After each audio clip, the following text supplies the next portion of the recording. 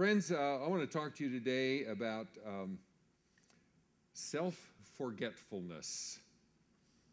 I was uh, going to the dry cleaner in Houston, Texas, maybe two, three years ago, and I pulled up and I got my shirts out of the back and I was going to take them in. And as I'm walking toward the door across the parking lot, this car comes screaming up and stops and jerks to a halt. And a woman jumps out and she pulls the back door open. She grabs her stuff she starts marching across the parking lot. She's clearly trying to get ahead of me. Now, I was there first, friends. I was parked. I had my clothes. I was walking across the lot. And I picked up my pace just a little bit, and she's picking up her pace horribly, and it's going to be a tie.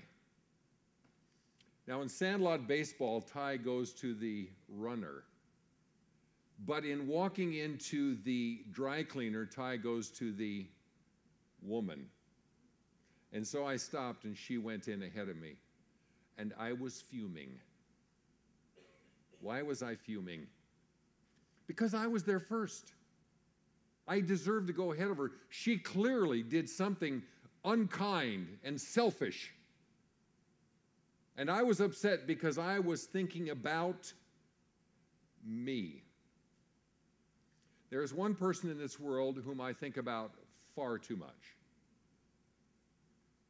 Suppose you've been married about three months. Suppose your name is Stephen, and you're going on a road trip with your brand new wife, and you come to Buc-ee's, and you pull into Buc-ee's, you get some fuel, you use the restroom, you buy a soda, you're ready to get on the road again, and uh, you, you have been a bachelor for 20 plus years. And you walk out to your car and you get in and you drive off, and you're about a half hour down the road and your cell phone rings. And you look at it and it's your wife. And you have forgotten her at Buc-ee's. And you turn around and you drive back and you've been gone for an hour. Would you rather forget your wife at Buc-ee's or get rabies? I'd rather get rabies.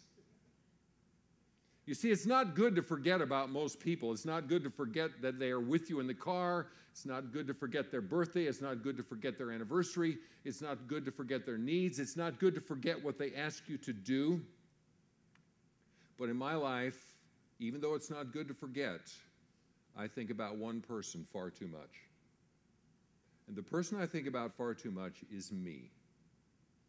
I think about me getting ahead of a woman at the dry cleaner.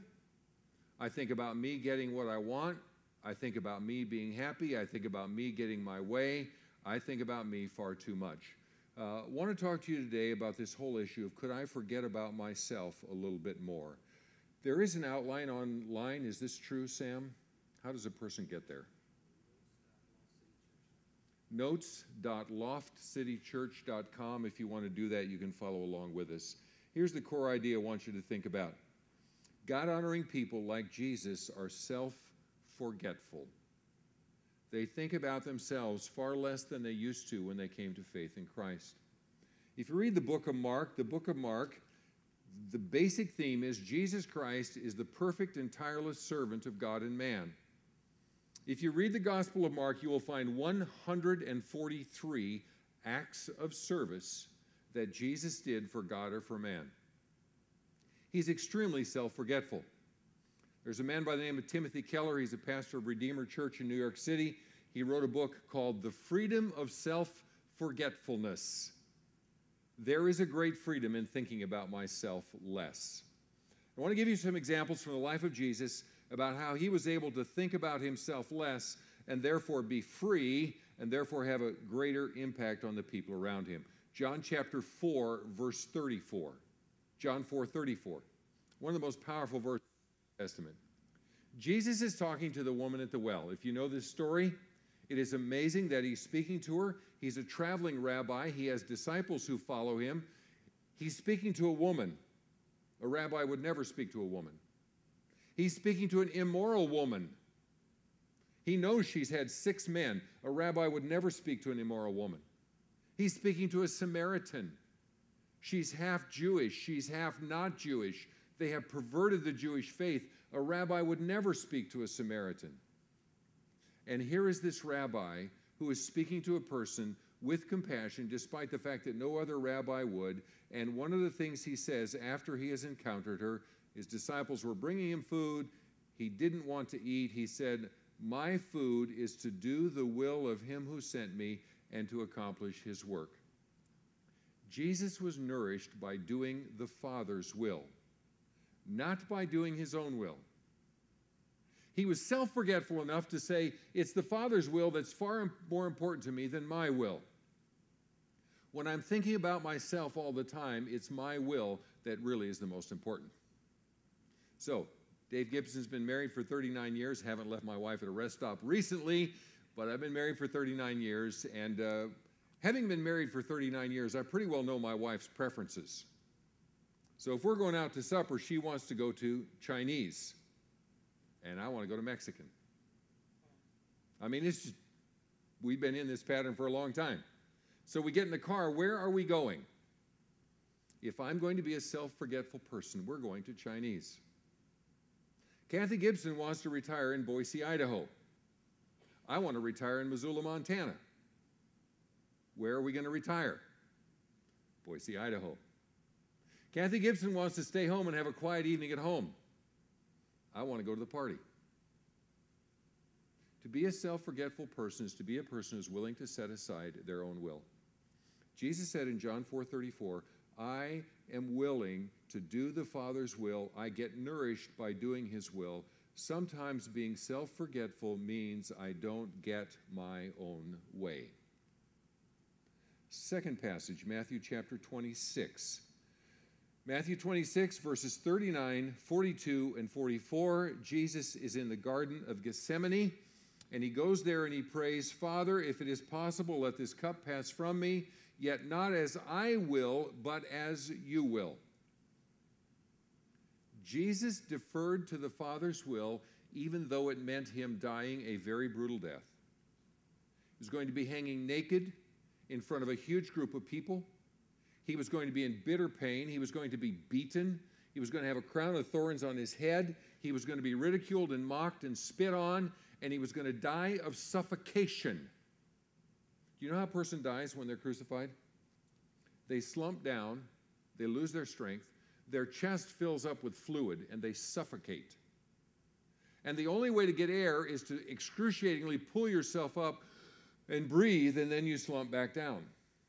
I mean, it's not the, the pain of being nailed through your hands and feet is enough, but you die of suffocation.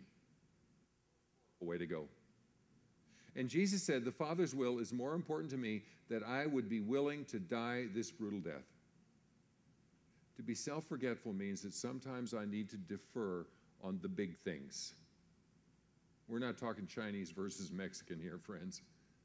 We're talking the big things. That's how self forgetful Jesus was. Luke chapter 23, verse 34, please. Jesus is hanging on the cross. He's dying for the sins of mankind. He is being murdered by the Roman people and the Jewish people, and he prays in verse 34 of Luke, I'm sorry, Luke chapter 23. Jesus was saying, Father, forgive them, for they don't know what they are doing. He was so self forgetful that he prayed for the people murdering him. Sometimes to be self forgetful means that I need to pray for people and defer to people who are harming me. Defer to people who are harming me. That's the nature of Jesus in self forgetfulness. Drop down to verse 43, please.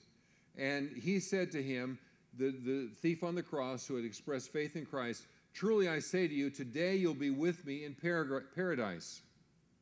Jesus was so self forgetful that in his personal pain, he was thinking about a criminal. Sometimes to be self forgetful means that we have to help people who deserve nothing. Jesus was thinking about this man who deserved nothing. He was getting exactly what he deserved. And Jesus thought about him. Another passage, please. John chapter 19, verses 26 and 27. Jesus still on the cross. When Jesus saw his mother and the disciple whom he loved standing nearby, he said to his mother, Woman, behold your son. And then he said to the disciple, Behold your mother. From that hour on, the disciple took her into his own household. Jesus is in indescribable pain and he's thinking about his mother. He's focused on someone else. Friends, I don't know, I'm, I'm not very good with pain, but when I get in pain, I me. When I get in emotional pain or physical pain, I think about me. I think about how much I hate it, and I think about how much I want out of it, and I am really, really not very focused on other people when I'm in personal pain. Sometimes self forgetfulness means that I help other people even when I'm in great personal need, even when there's a whole lot going on in my own personal life. Verse 30, Jesus on the cross.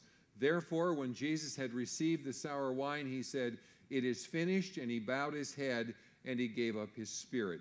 This is a loaded verse. Uh, the, part of the reality is Jesus' life wasn't taken away, he gave it away. He didn't die because his physical body ran out of strength. He died because he said to his spirit, Go away from me.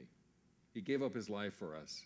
And when he was dying in this terrific pain, he says, It is finished. It's a single word which is pronounced tetelestai. It's an accounting term. It's like when you get a bill and it's been paid off and you stamp on it with a big red stamp that says, Paid in full. And when Jesus died, before he dismissed his spirit, the last thing he said about the sins of the entire world, yours and mine, past, present, and future, the last thing he said was, paid in full. Jesus was so self forgetful that he was focusing on the needs of other people and the debt of other people. He said it's paid in full. Sometimes to be self forgetful means to serve people who will reject you later to serve people who have no heart for you whatsoever. Jesus paid for us in that way. Philippians chapter 2, verses 5 to 11. I want to read part of that to you. Philippians 2 5. Have this attitude in yourselves, which was also in Christ Jesus, who, although he existed in the form of God, did not regard equality with God a thing to be grasped, but he emptied himself, taking the form of a bondservant being made in the likeness of man, being found in the appearance of man, he humbled himself by becoming obedient to the point of death, even death on a cross. This is like a sixfold step down. He goes from God all the way down to crucifixion. Friends, Jesus was and is the most magnificent, compelling being who could possibly exist. In the vernacular, he's got it made. He's at the top of the best ladder you could be at the top of. He's God.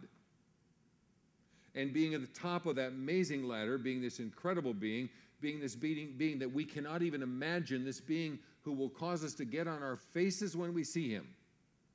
Being at that place, he stepped down all the way to death on a cross. Sometimes being self forgetful means that we don't pull rank.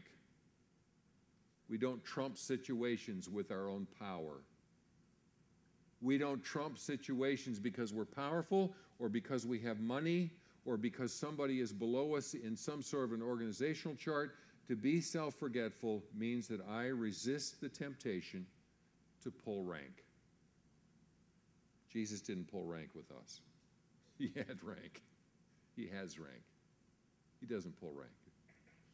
Final passage I want to think about today is 2 Corinthians chapter 8 verse 9. This is an extremely powerful passage. 2 Corinthians 8 9 says, For you know the grace of our Lord Jesus Christ, that though he was rich, yet for your sake he became poor, so that you through his poverty might become rich.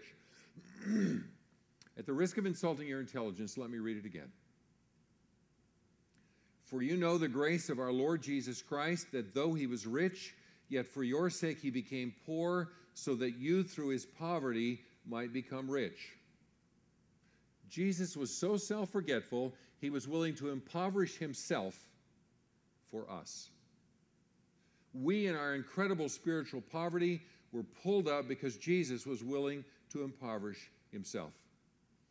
Sometimes self forgetfulness means that I make great personal sacrifice for the benefit of others, that I give up remarkable resources for the benefit, for the well being of others.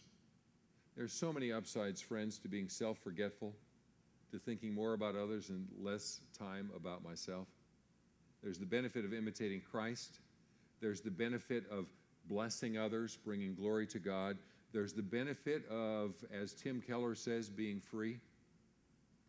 Because when I'm self forgetful, I don't need to go around pouting when you got your way and I didn't get my way. When I'm self forgetful, I'm free. I don't have to go around pouting when you said something ugly about me. I don't have to go around pouting when things didn't go my way. I don't have to go about pouting when you don't treat me well, or when you don't thank me, or when I don't get something I deserve, when I don't get the raise, or don't get the promotion, or don't get the recognition. I'm free. I don't have to obsess on it. I don't have to spend the rest of my day or the rest of my week saying, I deserved to be treated better. Let's have personal freedom. It's a huge thing, it's a wonderful thing, it's a massive blessing. I was in Philadelphia probably 15 years ago. I was renting a car. Uh, I was at the counter. There was a huge number of people, a huge number of people waiting on us. I go to the place, I give them all my stuff, I sign all the papers. I'm ready to go. I'm handed the keys. I'm told where it's parked. And I have this piece of paper in my hand that I don't need. And I lay it on the counter and I say to the woman, Will you please throw this away for me? And she looked at me and with an incredible snarl in her voice, she said, I don't do other people's trash. And she walked away. Now, friends, when someone does that, let's say at the Hertz counter, I don't know if it's Hertz or not, you know, I'm, I'm in a great place of power. I just, you know, I can beat on the counter and say, I demand to speak to the manager. You're going to pay for that. I mean, it was a simple request. There was a garbage can by her. She doesn't do that.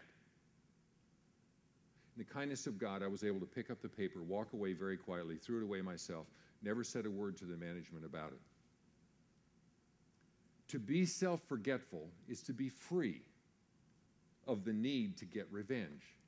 It's to be free of the need to pout. It's to be free of this incredible, horrible struggle in life that focuses on myself and puts me in bondage to how life goes for myself.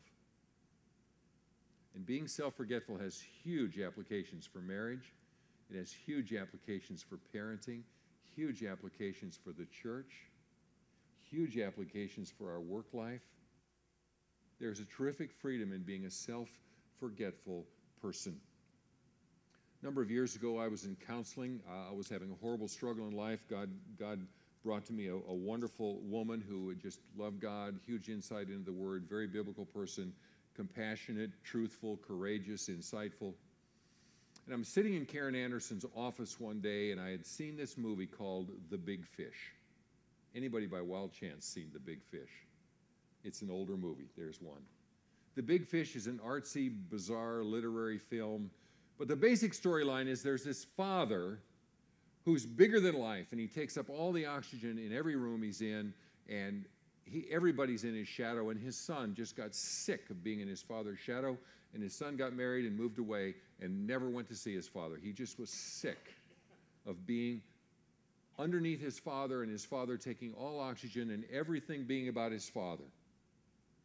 And as his father is dying, he decides, I need to go home. I need to make peace with my dad. I don't want to do this. I don't like the man. I'm sick of being in his shadow. But he goes home anyway to see his father and try and reconcile with his father.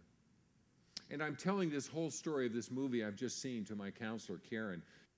Karen, this hooked into me so strongly because my father is the big fish. Whenever I'm with my father, it's all about dad. It's all about what he wants to do. It's all about his one liners. It's all about his gun conversations. It's all about dad. I'm sick of this. My dad is the big fish. I'm saying this to Karen with incredible energy. You can feel the energy in me right now. And Karen looked at me and said, Dave, your dad's not the big fish. It's you. You're the big fish, Dave. You're the one who has the one liners. You're the one in the room taking all the oxygen. You're the one about whom it always has to be about Dave. I, she didn't say this with any malice. She said there was utter truthfulness. And I stood there, and the Spirit of God said to me, She's right, Dave. It's all about you. It's all about you being in the room. I haven't made a lot of progress on this. I know about it, I struggle with it. Chelsea knows me. Chelsea knows me in the workplace. Chelsea knows my one liners. She knows how easy it is for me to come in and take over a situation.